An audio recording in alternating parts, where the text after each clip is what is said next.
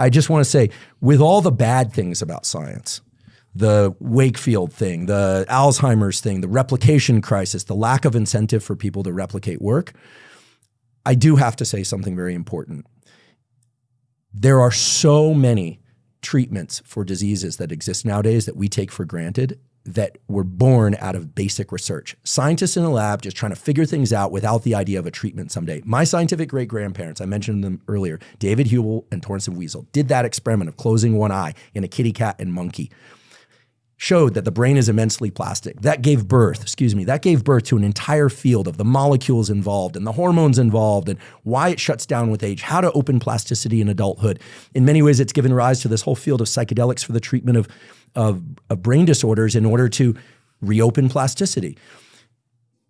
They did not do those experiments thinking there would be any medical application, but we now know, as compared to the 70s, when a kid has a lazy eye or a cataract or what we call strabismus or any of that, we now know to get in and treat those eye diseases early while, while the brain is still plastic.